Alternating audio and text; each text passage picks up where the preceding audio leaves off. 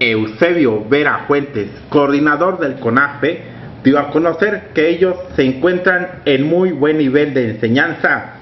Es cierto que se han recibido escuelas que anteriormente estaban en manos de la Secretaría de Educación Pública, pero esto no quiere decir que el nivel académico baje. Han tenido buenos resultados en las pruebas de enlace y olimpiadas del conocimiento. La Secretaría de Educación Pública efectivamente toma esa decisión.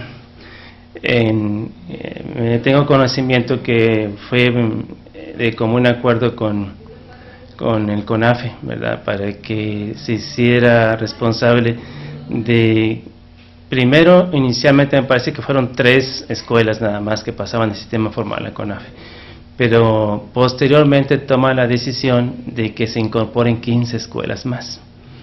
Esto ciertamente pues afecta a las diversas zonas escolares del sistema formal.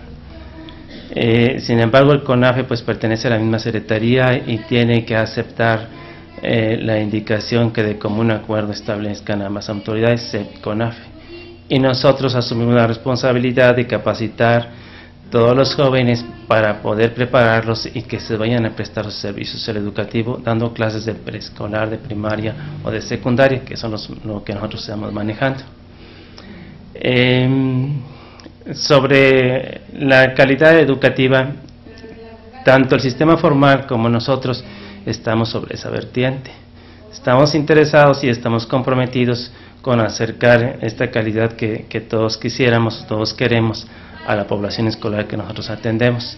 El mismo sistema formal está sobre la misma línea de mejorar los resultados en las pruebas de medición, como lo son la Olimpiada del Conocimiento y como lo es la prueba enlace, que es la que nos mide a nivel nacional.